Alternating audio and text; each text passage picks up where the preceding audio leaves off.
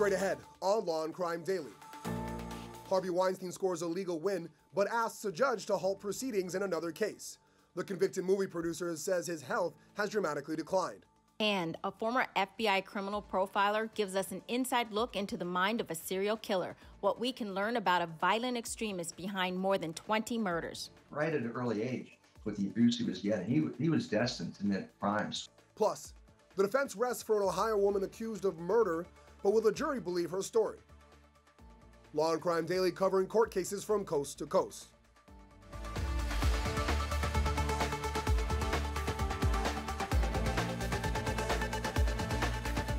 Welcome everyone to Law and Crime Daily. I'm Brian Buckmire along with Terri Austin. Convicted sex offender and former movie producer Harvey Weinstein may be COVID free, but his legal battles continue. One of the women accusing Weinstein of sexual assault was, has withdrawn his, her lawsuit. A New York federal judge ruled that the woman needed to publicly identify herself using her real name in order to go forward. The woman who filed as Jane Doe alleged that Weinstein groped her at the 2007 Cannes Film Festival and lured her into sex acts in Toronto and Los Angeles. Weinstein is currently serving a 23 year sentence for rape and assault charges. He also is facing additional criminal charges in Los Angeles and has a number of lawsuits against him. His defense attorney is requesting a pause in proceedings in one of his civil cases, citing his declining health. Joining me now is Harvey Weinstein's civil attorney, Imran Ansari. Imran, always a pleasure to have you here. Thanks for joining us. Thank you, Brian. So, Imran, I've looked at these motions, I've, I've, I've, got them here, I've gone through them all. The gist of them seems that you wanted the alleged victim, Jane Doe, to publicly name herself. But I'm seeing a lot of detailed descriptions as to when and where she say these allegations occurred Los Angeles, uh, Toronto, France. Isn't it just simple to turn to your client and say, hey, do you know who this person could potentially be based on all these names and defend him based on that? And you don't need her to publicly name herself? Brian, well, it's, it's not as simple as that. And, and the reason why we were seeking for uh, this particular plaintiff or any plaintiff uh, who has come forth with allegations of this kind against my client to name herself publicly is because there's a constitutional favor and the court's favor, a more open proceeding. Uh, and a defendant really has a right to know uh, the, the identity of their accuser, uh, to be able to put them to their burden, if you will, uh, in the court of law, whether you be a criminal case or a civil case. And that's really what we were looking for here. Um, this individual has made allegations against Harvey Weinstein. They're rather salacious uh, allegations against Harvey Weinstein. And if she is going to use the court system to bring this lawsuit, we, you know, based on precedent, based on uh, what the courts have favored, and that is an open and fair proceeding, we're seeking for her to file that complaint under her real name. And the judge in this case agreed with us. She ordered this uh, plaintiff to file her complaint under her true identity. Uh, she did not do that. Instead, she voluntarily dismissed her complaint against Harvey Weinstein. Um, and I think that's and important. Imran, I, I, totally get message. that. It's, it's yeah. a confrontation clause issue, and I support that. But from what I'm reading, she was willing to give her name to, to Weinstein's team and Weinstein, just not to the public. So why push for more? You would have known the name, and so would have Weinstein. Because Brian, listen, it's a, it's it's a a public perception. Um, a, it's the access to the courts and and and, and an open proceeding, and B, it really is a, a message, if you will, to those who are going to bring these claims against Harvey Weinstein that they should do so openly and under their real name. Why, Brian? Because listen, he's not an easy target. We don't want people to think that Harvey Weinstein is an easy target. If you think that you can bring a civil lawsuit against him just because he's Harvey Weinstein just because he's been convicted of this crime. Well, no, if you're going to do that, you should do so openly. If you feel confident about your claims, you should do so in an open proceeding. Um, and that is sort of a message that we want to get across here that if you're going to bring a claim, listen, he's not a sitting duck. He's not an easy target. He's going to defend these claims, whether they be the civil claims or the criminal ca- uh, claims in, in Los Angeles. He's not giving up. He's vested in his defense, both criminal and civil, and he's going to defend himself against these allegations. I hear you. Now, as I said, Imran, this is not the only case. This one got dismissed. As you said, she voluntarily dismissed the case by withdrawing. There's another case where you're saying that you want the judge to pause because of declining health, and that case has a little bit more um, information or background. That involves Ali Cassano. What can you tell us about that case and its proceedings that going forward? Sure, Brian. That's the case of uh, Ali Canosa uh, versus Harvey Weinstein. We've also similarly filed a motion in uh, the case of Geiss uh, et al. I say et al. because there's a string of plaintiffs uh, in that case um, to stay the deposition of Harvey Weinstein. And why are we seeking that? Well, it's twofold. It's A, because he's in a state of decline health wise. And that was reported quite significantly this week Brian, you heard about him having a fever. Uh, he was tested for COVID. Um, that wasn't a positive test. But regardless, um, he's not well. He is suffering from a multitude of health conditions. Uh, and, and we have brought that uh, to the attention of the court. Thanks, Imran. And now to Terri Austin with news involving lions, tigers, and the feds. A Netflix star is accused of inhumanely treating animals, and this time it's not the Tiger King himself federal authorities say Jeff Lowe violated Endangered Species Act by illegally taking possession and transporting animals at his Oklahoma zoo. Lowe and his wife Lauren took over the zoo from the Tiger King Joe Exotic in 2016. Lowe closed the zoo in August and agreed to pay $100,000 in delinquent state sales taxes. The complaint accuses Lowe of inadequately caring for grizzly bears and ring tailed lemurs, as well as burning tiger carcasses. And in other animal related news, a pair of quick thinking and creative emergency responders are being credited with saving a family's dog. The Atlantic Highlands Police Department was called out to a fire at a family's home in August. Smoke was coming out of the windows, and they knew some furry friends were trapped inside. One of the patrolmen moved scaffolding from the side of the house, while a fire chief grabbed a yard chair to help reach the second floor story porch where the dog was waiting. Body cam video captured the rescue. We got it, man. Just get ready for the pass now. All right. Hold on, man. Hold on, hold on, hold on. We got you. You got that? You want to grab that? Hold it sturdy. Get him. I have a house. Come here, come here. I'm gonna pass it down to you, all right, bro? Jump over here. I got him. I got him. Just stand there, man. What a great rescue. Still ahead on Law and Crime Daily, a woman on trial for murder wrestles with the idea of taking the stand. And later, hear from one of the top criminal profilers of a serial killer's reign of terror when we come back.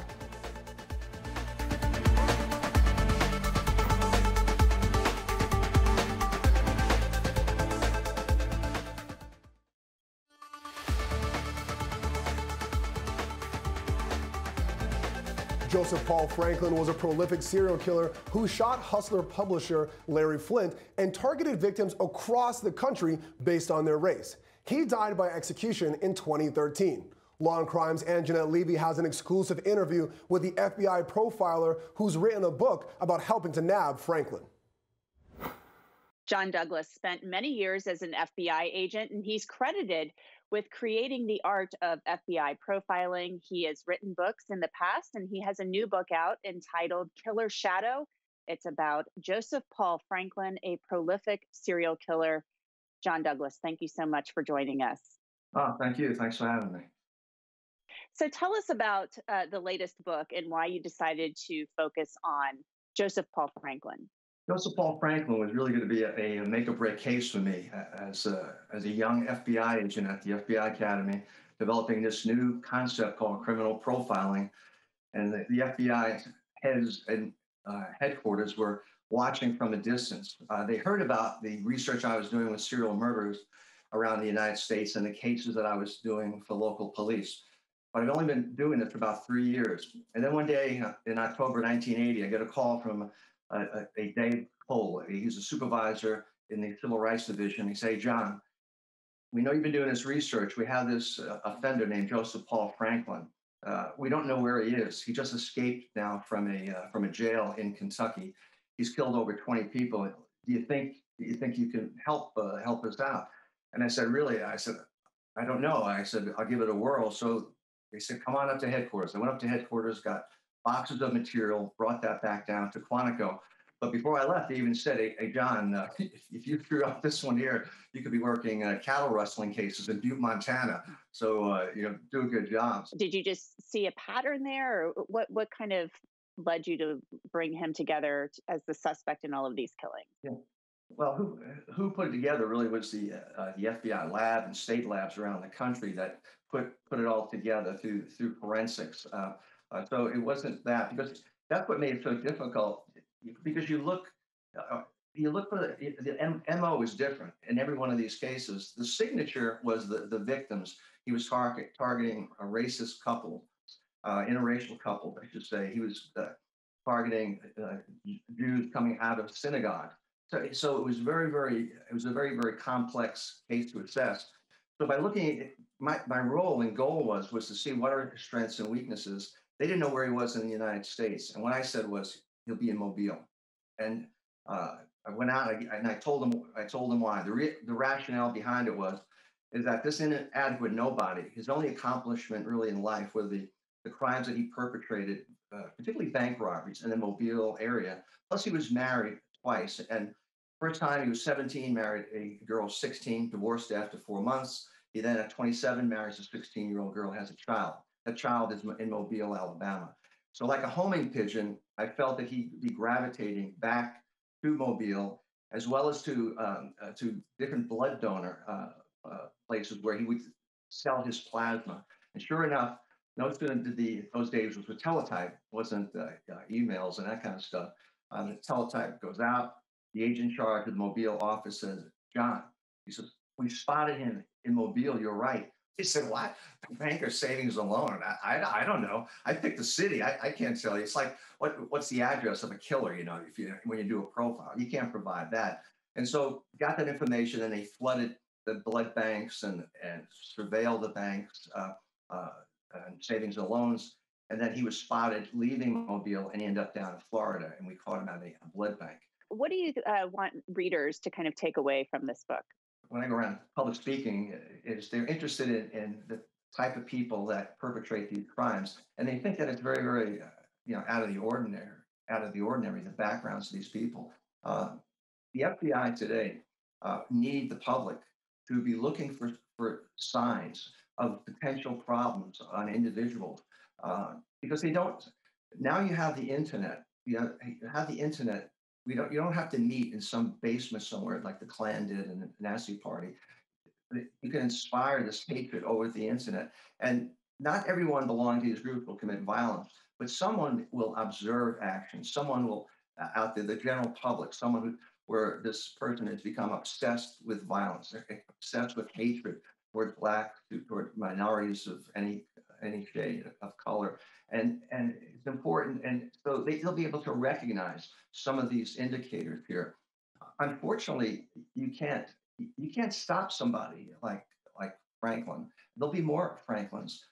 Well, John Douglas, author of Killer Shadow, I can't wait to read it. I'm really excited to um, dig into it. Thank, Thank you, you, so much for talking with us today. It was a, a great honor, and uh, we wish you the best with this new book. Oh, thank you. Thanks, Angela. Thank you very much. John Douglas's book is available in stores and online. When we return, an Army veteran killed delivering a pizza. Who's really behind the murderous plot? Plus, a jury's verdict for a former baseball player convicted of killing three people with his own baseball bat. The life or death decision after the break.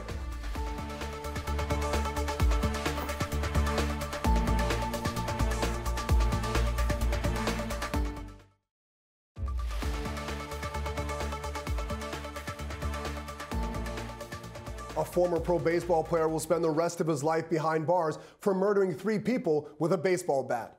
Brandon Willie Martin was convicted of slugging to death his father, his uncle, and a security system installer. Prosecutors say he killed them in a fit of rage after losing his $800,000 contract. But his defense says he has schizophrenia and had a long history of mental illness. It was up to the jury to decide if he should face the death penalty for the triple murder or life in prison. Here was the verdict. We, the jury in the above entitled action, as the defendant Brandon Willie Martin, fix the penalty under counts one, two, and three of the amended information as life imprisonment without the possibility of parole for the murders of Barry Swanson, Michael Lee Martin, and Ricky Lee Anderson. All right, I'll have Terri Austin and Mike Koribanics with me. Terri, let's start with you. Get right to the meat and potatoes. Was this the right decision by the jury? I do think it was the right decision, Brian. You know, we heard medical testimony that he suffered from schizophrenia, and several witnesses, including his own brother, testified that Martin was actually hearing voices. So, and you know, I think the the main point here is that anyone who can take a bat and brutally murder three people, one of them being his father who was in a wheelchair, obviously has some mental illness. So, I do think a life sentence was appropriate versus death. And let's hope that he gets the medical treatment that he needs while he's in prison. Now, Mike, we're talking about mental health disorders here, but no doctor actually took the stand to provide a medical diagnosis. How do you think the jury came to the, this decision without it? Well, I think what was very strong and what really spoke volumes to the jury was the fact the brother testified on his behalf, and I believe his mother testified as well on his behalf. And I think the jury really didn't need expert testimony. They saw a family that have lost enough lives. And whether he killed them, well, he did kill them. The question remains is I think the jury said, do we really need to have this family lose another member? So there's a little bit of irony here. Exactly. Yeah. And I think they came to the right, right decision. Thanks, Mike. Uh, and when we come back, a pizza order ends in a woman's strangulation. We take you inside the courtroom where past and present lovers point the fingers at one another. Stay with us for Gavel to Gavel coverage.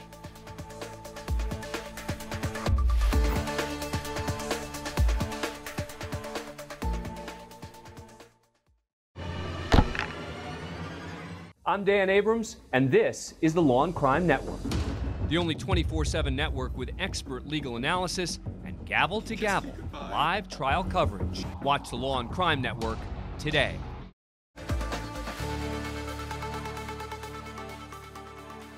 The defense has arrested in a trial of a Ohio woman accused of murder in a deadly love triangle. Prosecutors say Erica Stefanko placed a fake pizza order at a Domino's to lure Ashley Biggs to her death. Biggs was a retired Army veteran and worked as a pizza delivery driver.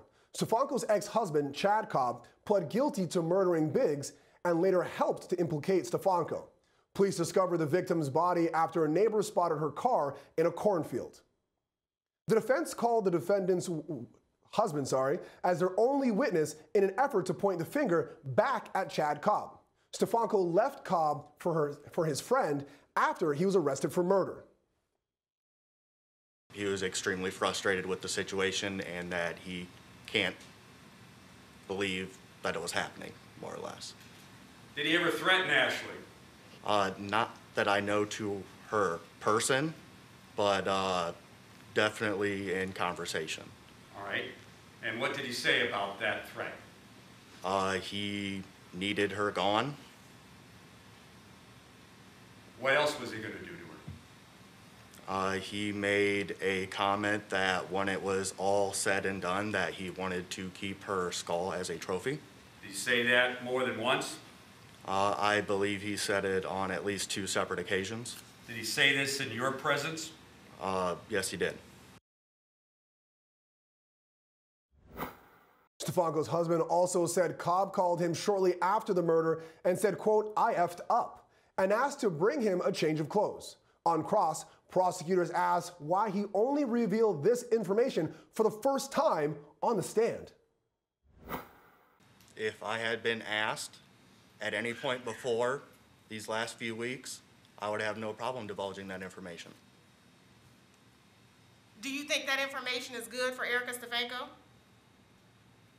I think that information is the truth, ma'am. Okay. And you didn't want to come forward and say, Chad said he did this, used it in a singular, not they or he.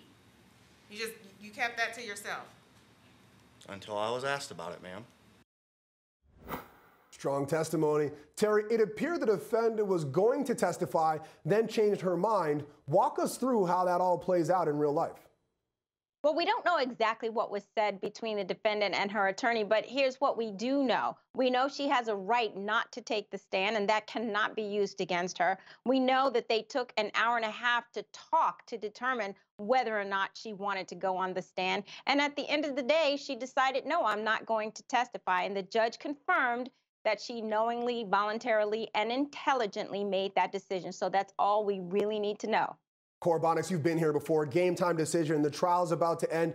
Are you going to put on your witness or not? Do you feel like this was the trial that needed a defendant to testify, though? Absolutely not. I feel this trial needed not to have any defense put forward. I didn't think that was a good witness. The, this trial needed to put the investigation on trial, saying if you investigators and police officers were so reliable and did such a thorough investigation, why was this man able to plead guilty to this murder without her ever being mentioned until years later when the person who pled guilty sent a letter to try to better his position in life imprisonment. And now you're asking this jury to believe those same investigators and law enforcement who did the investigation to say they could prove this beyond a reasonable doubt when they couldn't closest to when it happened. Terri, there's a lot of bombshells in this case. What would you point to being the biggest bombshell in terms of testimony that you heard? Definitely Cobb testifying first that he did it and then on cross saying, no, I didn't have anything to do with it. So that was a bombshell, I think, to everyone involved. Mike, would you agree in terms of bombshells? That a pretty big one? Yeah, you couldn't even hear it after that one went off. Exactly. Mike and Terri, thanks for joining us. And thank you all for joining us on Law and Crime Daily. We'll see you next time as we discuss justice in America.